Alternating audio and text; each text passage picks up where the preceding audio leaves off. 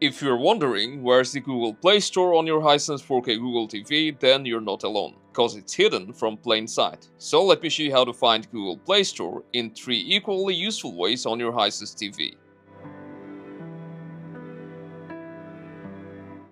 If we go to the Apps tab, you'll see that it only shows your apps. And if you scroll down, you'll only see the featured apps. So to go to Play Store and browse all the apps and games that's available, the first way is by using the search function. So just go to search, then just type Play Store, hit search and Google Assistant will pull up Play Store for you. And you can also use Hey Google to do that. Either press the Google Assistant button on your remote, or if your Hisense TV supports hands-free Google Assistant, then just say Hey Google, open Play Store.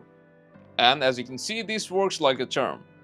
Now in your case, if this doesn't work, then the third way to do it is by going to all settings, then opening apps, and then you should see Google Play Store here. If you don't see it, just go to see all apps. And after you find Google Play Store, just hit open, and voila. Now you'll be able to find and install all the games and apps that's available on your Hisense Google TV. So if this was helpful, drop a like, subscribe, and enjoy.